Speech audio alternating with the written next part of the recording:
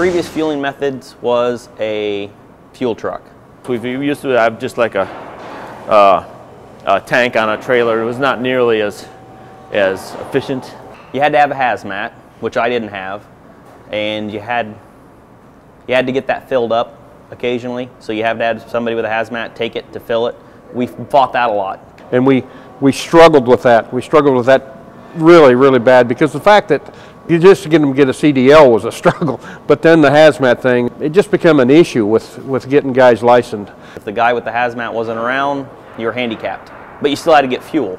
So then you were limited to a 100 gallon tank in the back of your truck, making three or four stops at a gas station to fill up and go back out and fill your equipment. In the world we live in, we're, we're watched by MSHA.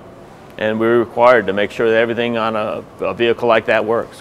Whether it's the engine, the lights, the brakes, the wipers, everything. Got to work. With this, you don't have to have a hazmat. You can take it back to the plant, fill it up. You don't have to go to a gas station. It saved me probably an hour every night that's an hour I get back. It's, it's not real heavy. I mean, you can fuel her up. Uh, we drag it with a half ton pickups most of the time. You don't even know what's back there when you're dragging it, it's full of fuel. I mean, it, it handles very well. It was designed well. It's drastically changed. I know that sounds crazy, but we would call bulk trucks in. We don't have that expense anymore. I can hook onto this trailer and run back to the plant, fill out of our own bulk so we don't have that expense. We're not trying to, every time we go to a town, we're not trying to find a fuel distributor. I'm not having to deal with that. It's one less headache for me.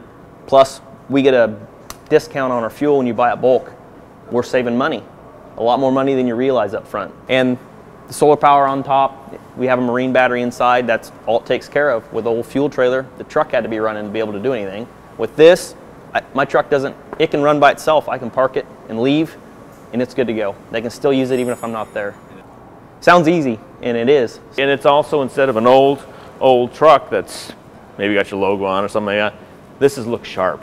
I mean, you, as you're driving it down the road, you, you see you get your company name, your logo into it. Positive presentation of what we would like to present ourselves as. It's something that's clean, straight, neat.